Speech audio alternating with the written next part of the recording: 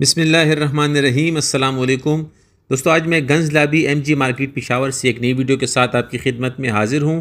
दोस्तों, आज की वीडियो में अनबॉक्सिंग करेंगे C Z Scorpion Evo three S one जो कि नाइन एम एम कैलिबर से ताल्लुक़ रखती है और ये चेक रिपब्लिक की semi automatic nine M M sub machine gun है।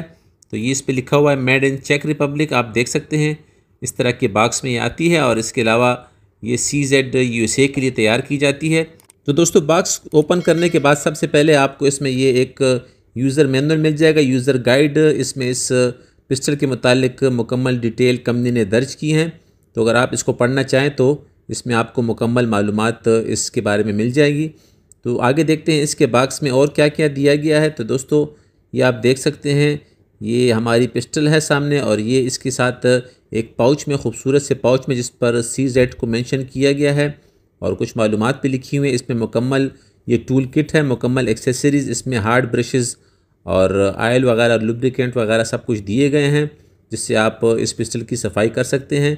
इसके अलावा इसके साथ कमने से दो अदद मैगज़ीन आते हैं, जो कि एक ट्वेंटी राउंड पर मुश्तमिल है और एक टेन राउंड मैगज़ीन कैपेसिटी पर मुश्तमिल है, जो कि पोलीमर के बने हुए डबल स्टेक मैगज़ीन है। तो ये आप देख सकते हैं, ट्वेंटी राउंड का मैगजीन और एक ये बैरल के आगे लगाने के लिए एक रिंग से दिया गया है, जो कि इसकी बैरल के आगे लगता है। इसके अलावा इसके साथ ये चाइल्ड लाक दिया गया है इसकी सेफ्टी के लिए। जब आप उसको घर पे रखें तो इसको लाक कर लिया करें ताकि बच्चों की पहुँच से दूर रहें।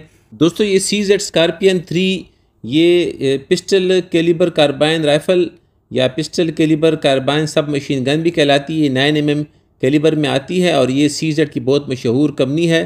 सी जेड चेक रिपब्लिक की और ये टॉप फाइव कार्बाइन राइफल में इसका शुमार होता है। इसके साथ इसकी कंपनी से ये ट्वेंटी राउंड का मैगज़ीन आता है, जो कि पोलीमर का बना हुआ डबल स्टेक मैगज़ीन है। तो ये ट्वेंटी राउंडेड है और एक जो इसके साथ आता है, ये जो पिस्टल में लगा हुआ है, ये टेन राउंड का है। और अब आते हैं पिस्टल की तरफ़। तो दोस्तों, इसमें ये टेन राउंड का मैगज़ीन लगा हुआ है और इसका जो मैगज़ीन रिलीज़ करने का बटन है वो भी इसके साथ, इसके ट्रिगर गार्ड के साथ ये दिया गया है। यहाँ से आप मैगज़ीन रिलीज़ कर सकते हैं।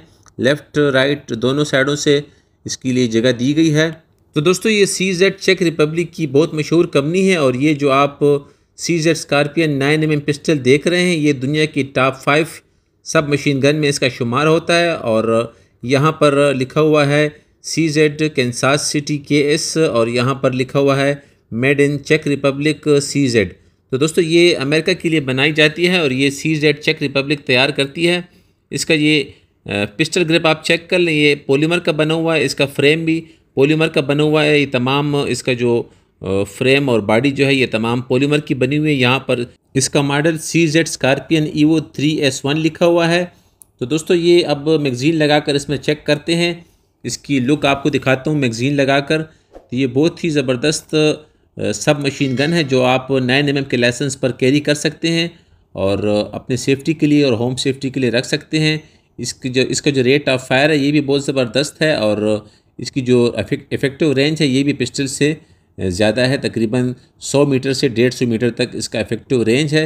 इसके ऊपर पिकटेनी रेल दी गई है ऊपर भी। आप इसके ऊपर साइड्स वगैरह लगा सकते हैं रेड डार्ट स्कोप वगैरह लगा सकते हैं।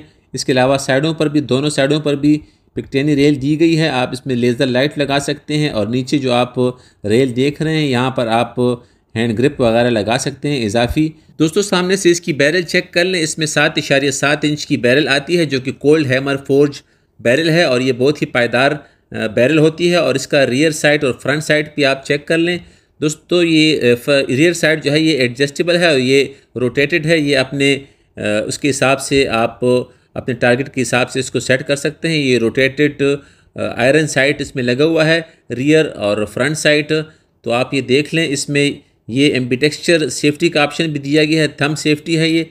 यहाँ से आपको इसको सेफ़ और सिंगल एक्शन यानी ये सेमी ऑटोमेटिक है सेफ़ और फायर का ऑप्शन सेलेक्ट कर सकते हैं। और ये थम सेफ्टी जो है, ये लेफ़्ट और राइट दोनों साइडों पर दी गई है, यानी यानी लेफ़्ट हैंडेड और राइट हैंडेड दोनों इसको यूज़ कर सकते हैं। इसके अलावा इसका जो बोल्ट है, ये भी आप लेफ़्ट हैंड वाले जो हैं, ये दूसरी साइड पर एडजस्ट कर सकते हैं।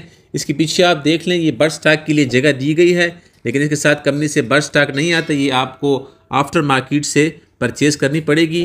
तो दोस्तों, अब C Z Scorpion Evo three S one की ओवरऑल डायमेंशन के ऊपर बात कर लेते हैं। दोस्तों, इसकी बैरल की लंबाई सात इशारिया सात इंच है, और इसका जो ओवरऑल लेंथ है, ये सोलह इशारिया एक इंच के साथ ये आती है। और इसकी जो, इसका जो वज़न है ये टू पॉइंट यानी दो हज़ार दो सौ साठ ग्राम इसका वज़न है। तो दोस्तों, ये थी हमारी आज की पिस्टल। अब इसकी कीमत के बारे में भी आपको बता दूँ। दोस्तों, आजकल इंपोर्ट मार्केट में इसकी कीमत चार लाख पचास हज़ार से पाँच लाख रुपए तक इसकी कीमत है। ये डिपेंड करता है मार्केट की कंडीशन पर। तो ये ये कीमतें ऊपर नीचे हो सकती हैं। ये फ़िक्स नहीं होती। तो जब भी आपको किसी चीज़ के बारे में मालूम करनी हो तो हमारे इंस्टाग्राम पर आप मालूम कर सकते हैं। तो उम्मीद करता हूँ दोस्तों आज की वीडियो आपको पसंद आई होगी। दोस्तों, अगर आज की वीडियो आपको पसंद आई हो तो वीडियो को लाइक कर लें। जिन दोस्तों ने अभी तक मेरा चैनल सब्सक्राइब नहीं किया, उनसे गुजारिश है कि मेरे चैनल को सब्सक्राइब कर लें ताकि आइंदा भी ऐसी वीडियोज़ देखने का मौका मिल सके। अब आपसे ज़्यादा चाहूँगा, अपना ख्याल रखिएगा और अपने इस चैनल का भी। अल्लाह हाफिज़।